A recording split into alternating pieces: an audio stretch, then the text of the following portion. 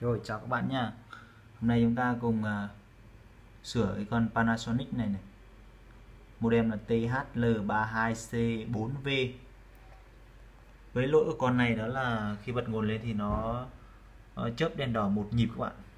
Các bạn có thể tra mã lỗi là Panasonic uh, báo lỗi một nháy nhé lỗi một nháy này. Thì uh, lỗi này sẽ liên quan đến cái phần uh, đèn nền.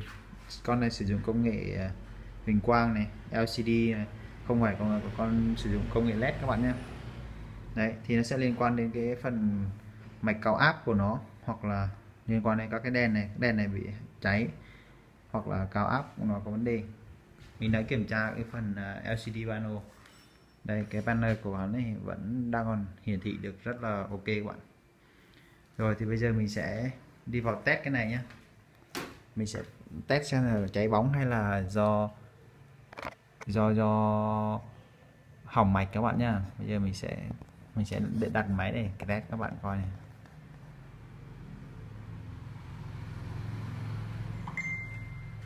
Rồi, bây giờ thì mình sẽ test từng led một. Mình sẽ test từng led một cho bạn xem nha. Bạn tháo cái led này, tháo nó đơn giản rồi. Tháo ra là được thôi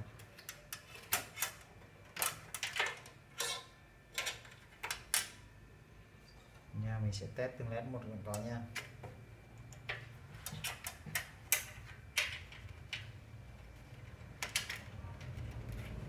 Nếu tất cả các led ok thì các bạn hãy sửa cái phần bo cao áp các bạn nhé.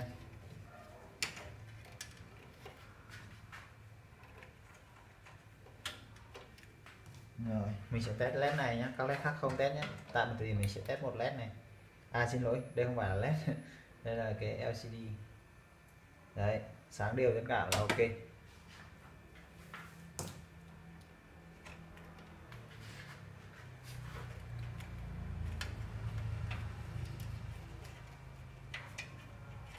Công nghệ này, công nghệ cũ rồi các bạn ạ.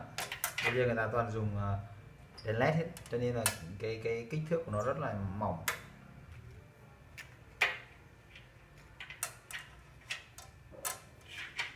Còn đây là công nghệ chiếu sáng một đèn huỳnh quang các bạn nha nó giống như các cái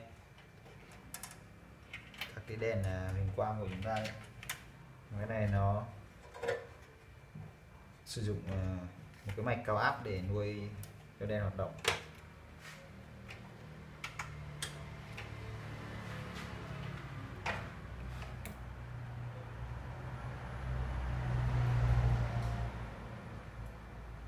Ok bạn nha, hai bóng, ok nha.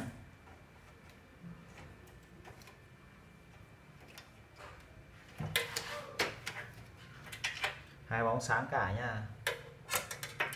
Đây, bóng thứ ba này.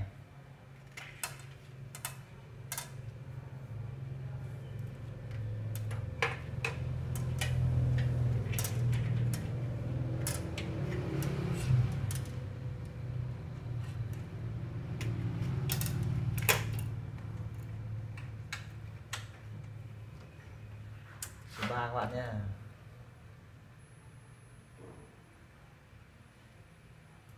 Ok các bạn. Đây cái bóng thứ tư này. Bình thường là nó sẽ cháy một trong bốn bóng này các bạn nhé. Cháy một trong bốn bóng này thì nó sẽ không sáng này.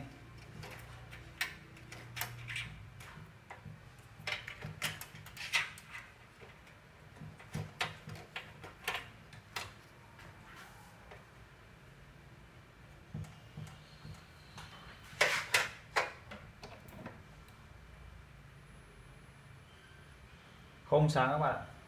Bóng này bị cháy các bạn bây giờ, mình việc thay cái đèn mới này vào là nó sẽ hết lỗi một nháy ngay các bạn nhé.